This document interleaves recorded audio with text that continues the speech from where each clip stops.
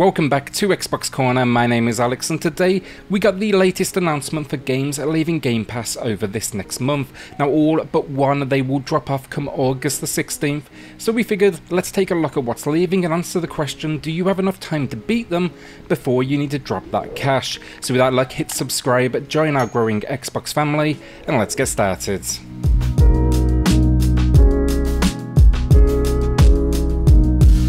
So in the top left corner of the screen, you're going to see the platform it is currently on with Game Pass, a main story runtime, and then also a completionist runtime. Now these are taken from howlongtobeat.com.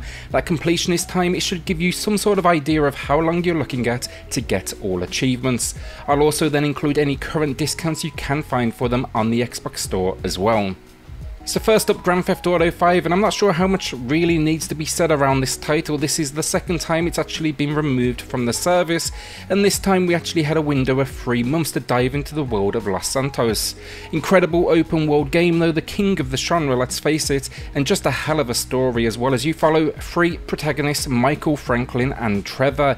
It's a game though that refuses to die quite honestly when you think it was released originally back on the PS3 and 360 in 2013, but they do continue to support it, they continue to update it. They've added a ton of online content as well, from casinos to new cars to the recent LS car meet. Quality game though, and you can easily get hundreds of hours out of this one. And while achievements wise it might be a bit of a stretch to get that done before it drops off, the story should be doable. This game though, it desperately needs a sequel at this point, and I just can't wait to see where they go next, whenever that may be.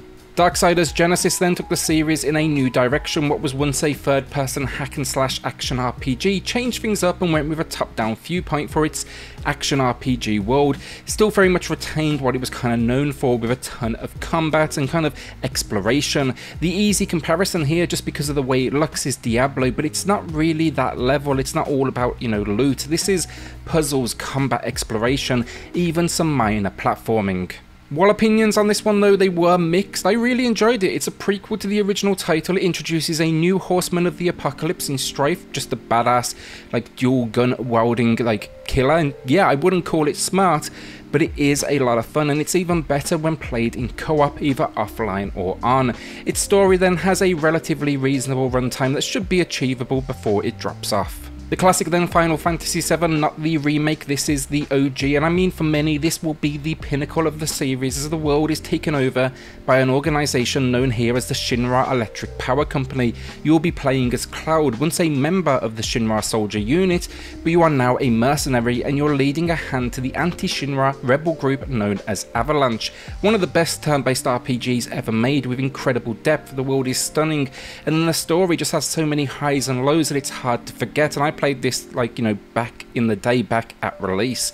The only thing i will say if you've come this far 2021 and you've never played it i can't imagine you will be bothered all that much to see it leaving the service.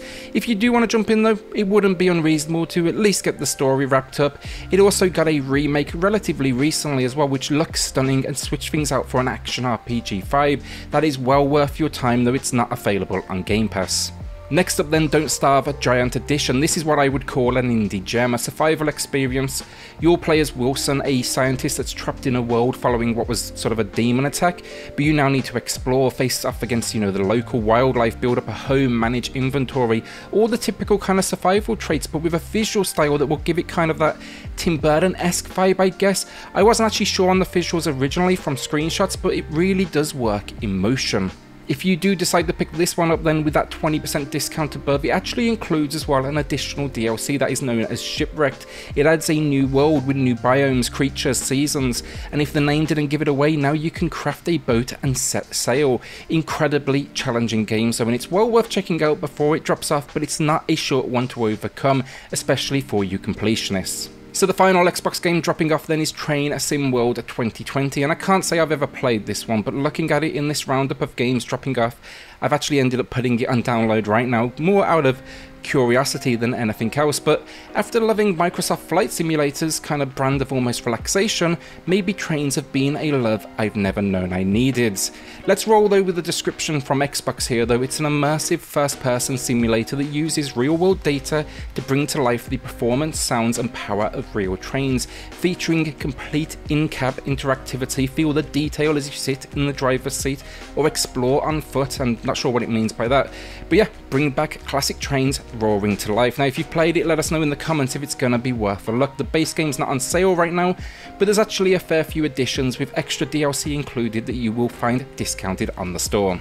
Aside from that then PC users, you've got Ape out that will be leaving, it's a genius title that everyone should play and it's also super short this one, you can wrap that story in probably a couple of hours and you're basically an ape escaping some sort of facility by crushing everything and everyone in your path. The art style is incredible though, the soundtrack it's a masterpiece, it's like experimental jazz, I like that so much I actually picked it up on vinyl and yeah, absolutely just jump in while you can. Then you are also going to be losing Crossing Souls, another short one, also from Devolver Digital, but it's 1986 California, and you control a group of five kids that travel between dimensions on an adventure that's wrapped in kind of government conspiracy. Great pixel style though, and it embraces that 80s style cartoon for its you know narrative, and it's going to be for those of us that enjoy the classic adventures, think like you know the Goonies. It's an action adventure game though, so expect some combat, puzzles, boss moments, and then a whole lot of neon. And that's how we are currently looking for August. Now, will you be jumping into any of these to try and wrap them up before they do drop off, or is this selection just not really the games for you? For me, it's Train World. It's the only one I haven't played. I can't imagine paying for it, so screw it. I'm going to get my train on now for the next few days. With that though luck, hit subscribe, join our growing Xbox family, and I'll see you all on the next video. Thanks everyone.